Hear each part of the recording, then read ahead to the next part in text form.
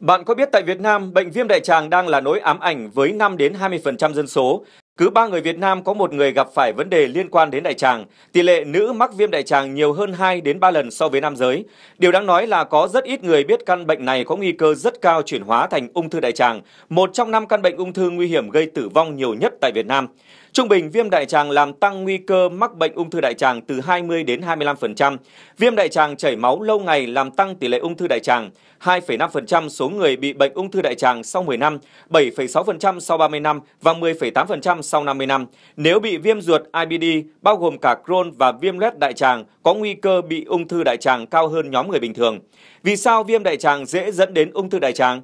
Viêm đại tràng mạn tính sẽ ảnh hưởng đến sự phát triển không bình thường của tế bào. Các tế bào tăng trưởng không kiểm soát và loạn khuẩn quá mức có thể gây ra các tế bào tiền ung thư hình thành trong lớp lót của ruột.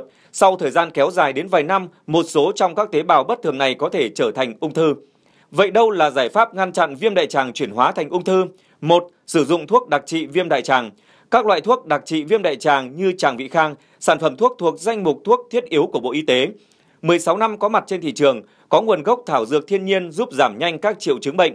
2. Hãy cân đối thói quen ăn uống của bạn, hạn chế uống sữa tươi, dưa cả muối, trứng, nem rán, thịt mỡ, đậu đen, hành sống, mật ong, bánh kẹo ngọt, rau sống, bắp luộc, ngô luộc, thuốc lá, cà phê, trà, sô-cô-la, những thức ăn sinh hơi, những thức ăn nhiều gia vị, thức uống có cồn.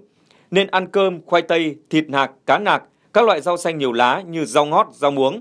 3. Hãy tầm soát ung thư đại tràng, vô cùng cần thiết với người đã mắc viêm đại tràng. Bác sĩ khuyến cáo sau khi bị viêm loét đại tràng toàn thể 8 năm thì phải bắt đầu tầm soát ung thư bằng nội soi.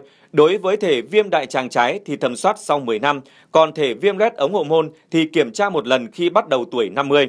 Tràng vị khang đặc trị viêm loét đại tràng cấp và mãn tính, sản phẩm bán tại các nhà thuốc trên toàn quốc.